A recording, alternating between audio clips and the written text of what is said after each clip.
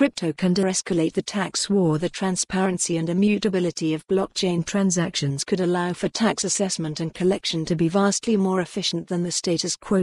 By Zachary Lerangis Layer 2 Nov 16, 2022 at 3.07 pm Ukbi Zachary Lerangis Layer 2 Nov 16, 2022 at 3.07 pm Ukthir is a tax war between the government and the people, and there always has been.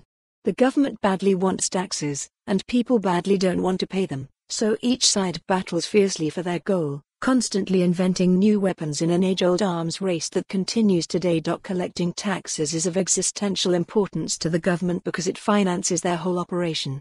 Avoiding paying taxes is of great importance to people because they want to keep the money they make.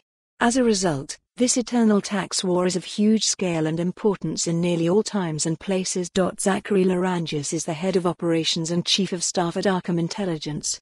This piece is part of Coindesk's Tax Week. The historical record bears this out. The text of the Rosetta Stone is an official government decree largely about royal and priestly taxation.